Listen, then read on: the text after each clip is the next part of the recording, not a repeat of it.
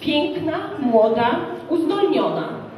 Córka wyjątkowo twórczej mamy, którą już miałyśmy okazję poznać, nagrała płytę dla zwierzaków, e, z której z tej, dochód z tej płyty został przekazany na schronisko. E, No i jak usłyszałam jej płytę, e, no to, to po prostu Zośka mnie oczarowała. W związku z tym dziś na nasze spotkanie zaprosiłam oto tę młodą artystkę, Zosia Bartowska.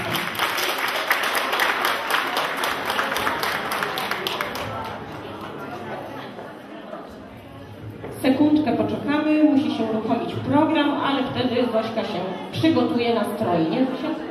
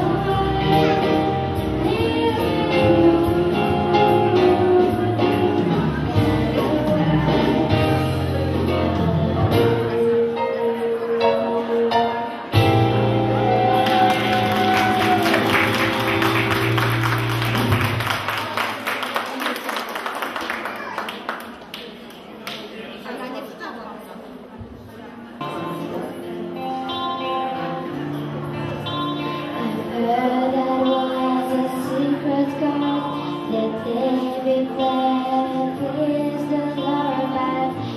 don't really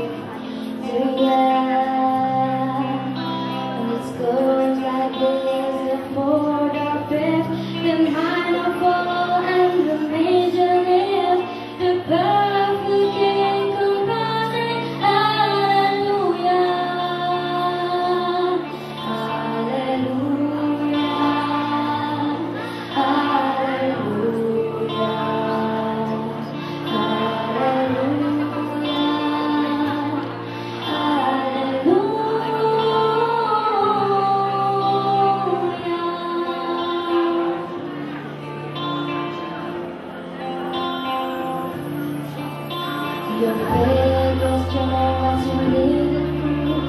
You.